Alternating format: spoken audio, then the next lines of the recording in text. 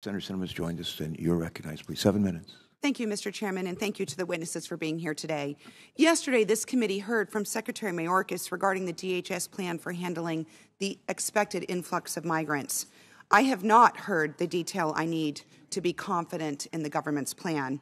In order to meet this moment, DHS needs to be able to share operational details regarding how they plan to move migrants through the processing system in a manner that will keep Arizona communities safe and treat migrants fairly and humanely. So, Ms. Tierney, Arizona communities, NGOs, and local and federal law enforcement officers have been struggling to keep up with the flow of migrants for years. Yesterday, Secretary Mayorkas indicated that work to get resources on the ground in Arizona are well underway.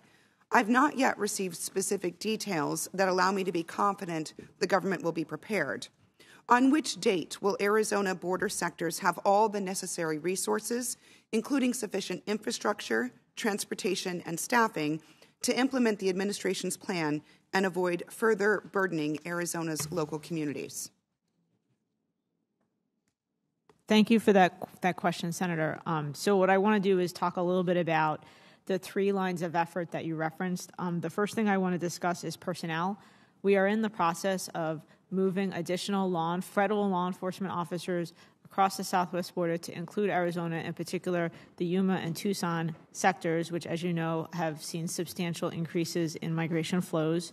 Uh, there's also an effort to provide civilian contract processing staff, in particular to Yuma, that will allow Border Patrol agents to then go back out on the line.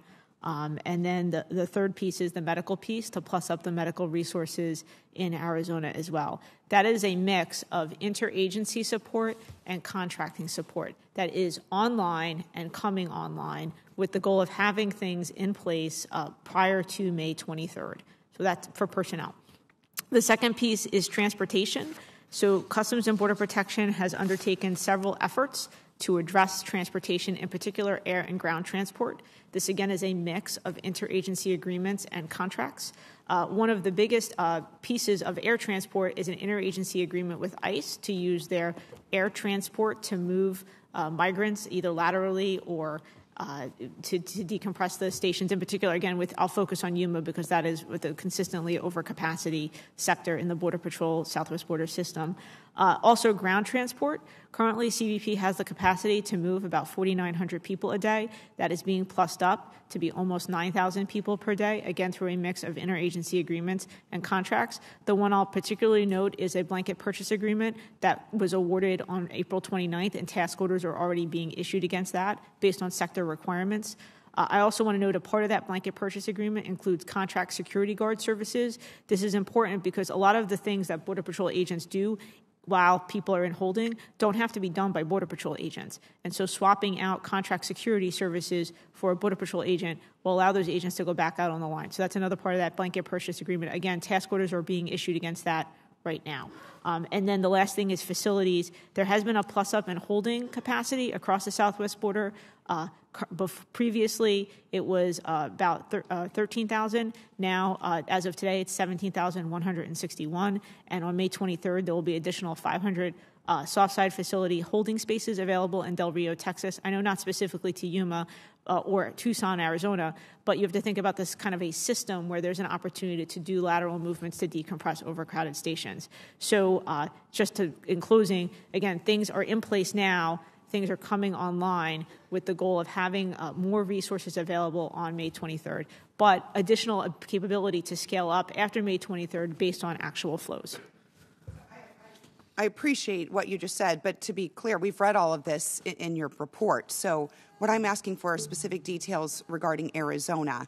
Telling me what's happening in Texas and saying that you can move people from Arizona to Texas doesn't actually solve the problem. Do you have specific Arizona details? Uh, I have I have top line details here. I do not have specific Arizona details, but we can certainly get you that offline.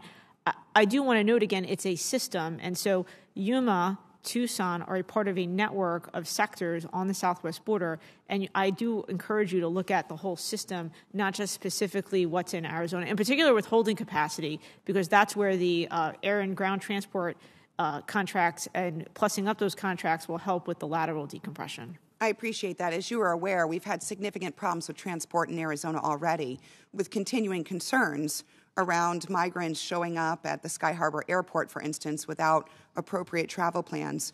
And airport personnel have been taken away from their duties of helping passengers get safely from one destination to another to provide assistance to migrants. As you mentioned before the hearing, some of that has been alleviated. It has not been solved.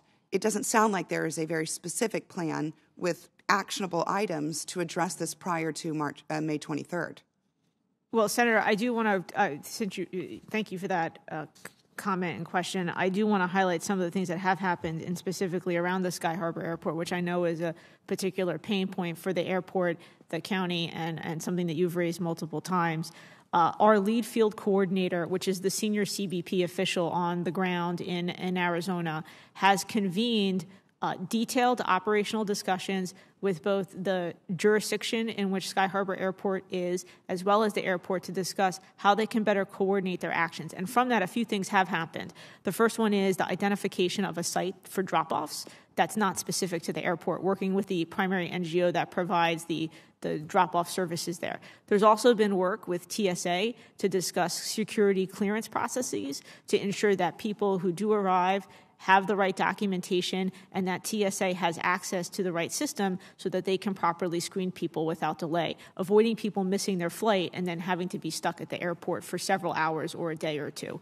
Another issue is ticketing. And so the lead field coordinator has convened discussions with both Southwest Airlines and uh, I believe it was United Airlines, to discuss how to better coordinate ticketing as well as moving people through the airport to their to their gate. So there are things that have been done tactically to address these issues. And as we discussed before the hearing, and as I will highlight here, is it completely solved? No, it is not. But there are a lot of things in process and also completed to have alleviated some of the issues.